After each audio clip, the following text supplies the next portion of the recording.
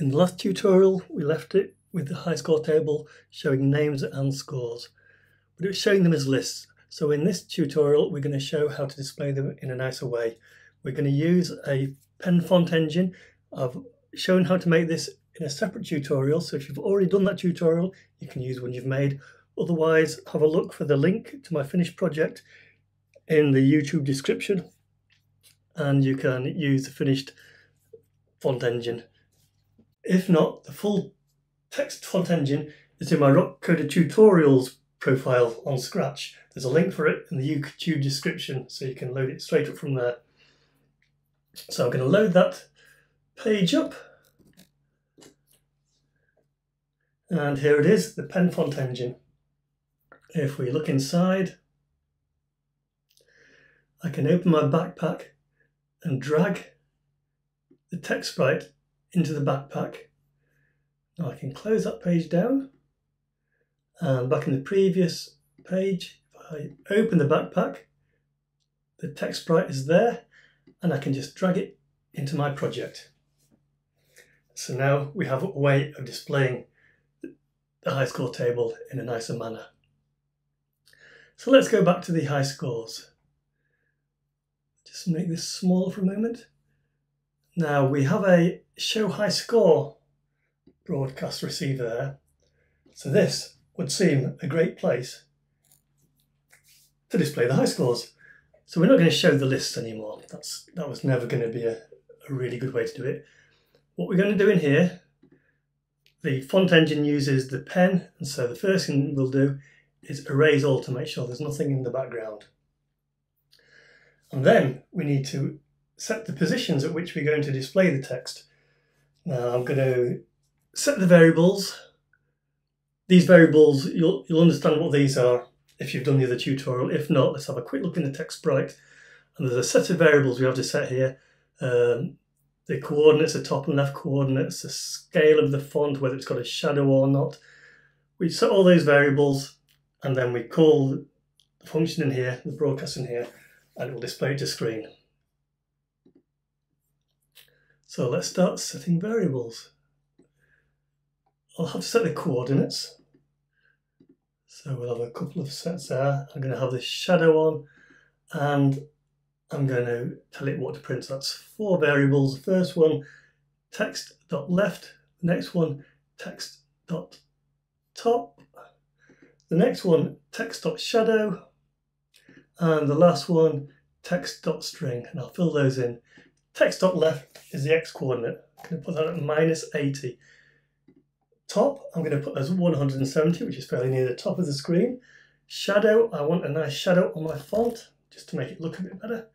And the text string, I'm just going to display the word high scores. So if I run the code now, I'll make this a little bit bigger. Oh, no, it won't do anything. I also need to do the broadcast broadcast and wait, display text. And I also need to initialize the text engine, which I'll do in the game sprite, where the green flag is pressed. We will broadcast, initialize, and that sets up the pen engine. So if I run this code now, display high scores on the screen. It's displaying it in white with a black shadow, which may not be the best for this game. Um, so just for now, I'll pop onto backgrounds, look at the backdrop, change it to a bitmap, and just flood fill it. There we go. And now back to the high score sprite. So I've displayed high scores. Now I need to actually display the information. So we want to display all the information, so we're going to loop through it using an index variable. We'll set the index to 1. We will make the, the, the text a little bit smaller than the title, so we'll set text.scale to 80 and we'll set the position. So the top of it is going to be, let's see, at about I'd say 130. So it's underneath the high scores. And now we'll start looping. The number of times you want to loop is the variable we've already set, which is called high score number. So we're going to go through each one.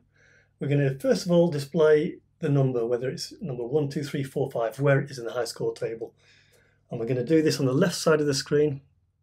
So set text dot left to I don't know, maybe minus 140. Yeah, no, minus 180, I think. I'm going to make that a little bit lower down as well. And so it's going to do this at left hand side. I just want to set the text string to print the number of where it is in the high score table. So text dot string. I have a join in there because I want a full stop after the number. So it's simply index joined with full stop and then a broadcast to display an event. Broadcast and wait, display text.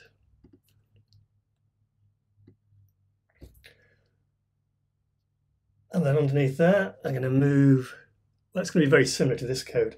So I'll just duplicate this code. Uh, same, same vertical position, so I'll leave that. I'll just set the X position to minus 140. And at this point, I'm going to display the name from the high score table. So that's in the list. Item index. So let's start with the first entry in the list of high score names and display that. And then I want to display the score. So that's I'll do that on the right hand side of the screen at the same vertical place. Display high scores. So that's displaying all the information. Now I want to move down so it's ready to print the next line. So I'm going to change text up top by I think 26 pixels sounds about right. And obviously I'll have to change the index as well so it's pointing at the next entry in the high score table.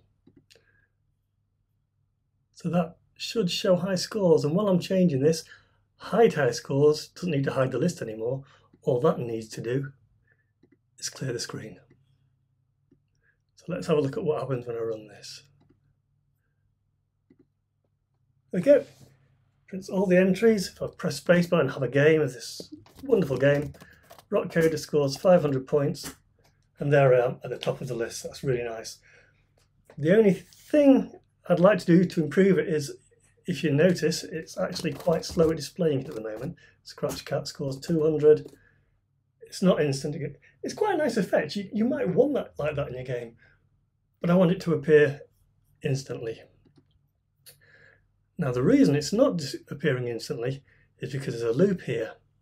So what I would normally do is put this into a custom block, non-refresh, but I can't because I've got broadcast and wait commands in there and they don't work in a non-refresh block. So what I would advise to do in this case is move this code out of here and actually into the text sprite. So, so I've copied it across, I'll delete it from there and have a look in the text sprite and there it is. But if I run the code now, I'll see a problem. Nothing is getting displayed and there's a, a few reasons for that. First is high score number is local. It's a for this sprite only variable in high score, so it doesn't exist in text. Now there's a nice use of the sensing block here. It's, where is it? It's this one. It just says backdrop of stage. But I can change stage to high scores and I can change this to high score number. And that allows me to look at a variable in a different sprite. I can't change it, but I can look at it and that's all I need. So I'll take high score number out and I'll put that in. So that's a little bit better. It now does the numbers down the side. But it's not doing the names or scores because they're in this sprite only lists, again in high scores, and there's no equivalent to this sensing block for lists. All I can do is make those lists for all sprites, and there's no nice way of doing this. There's no quick method, unfortunately. So I'll show you a trick I use for this sort of thing. I'm going to make a list. I'm going to call it high scores. Notice I'm doing it for all sprites. So I've got capital H. It's very handy to be able to do this. I can tell just by looking that the previous one, starting with a little h, was for this sprite only. Again, I'm going to make a high score names for all sprites.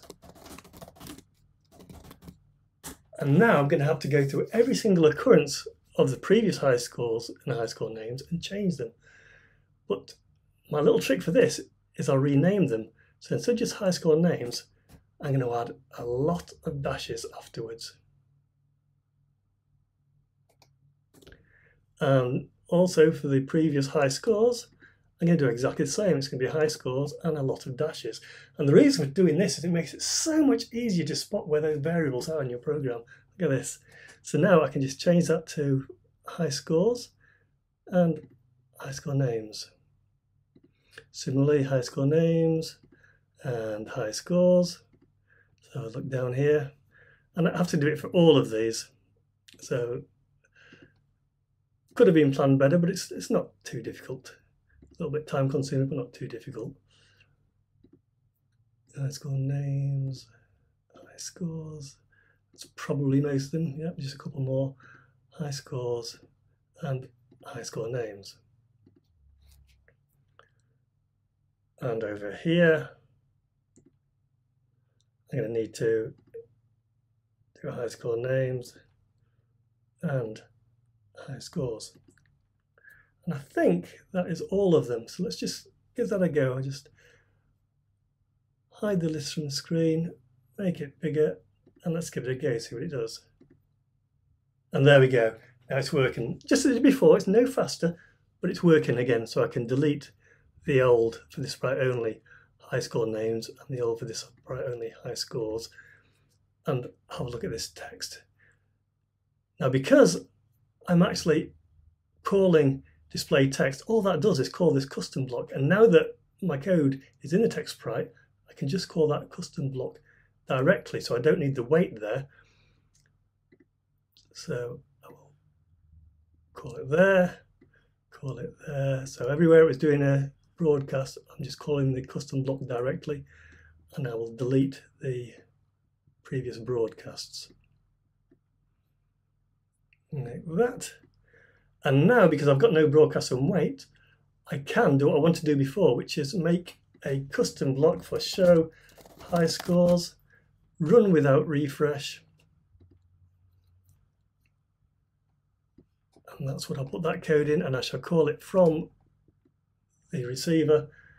Let's have a look at that full screen. And it's now displaying it instantly. RokCoder scores a great 500 points. Boom, straight there. But it wasn't, it was still a slight pause. I think I've missed one. Yep, there it is. It is left the broadcast display and wait in there. So again, that should be display text. And now, and now, it should be instant. There we go. Press space to play. RokCoder scores 500 straight away. Uh, Scratch Cat comes back in with a massive score of 850. Well, RokCoder's not finished yet. RokCoder comes back with a score of 920.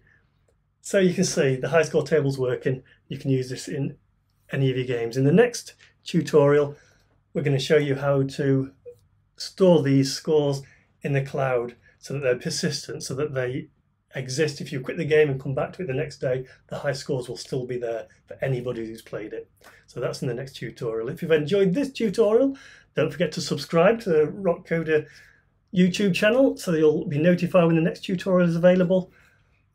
Until then, enjoy coding.